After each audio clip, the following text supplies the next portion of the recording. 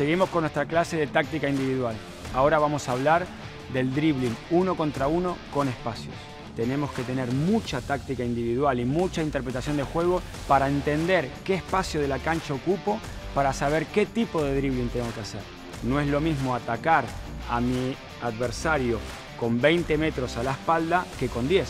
Buscaré distintos gestos técnicos para poder superar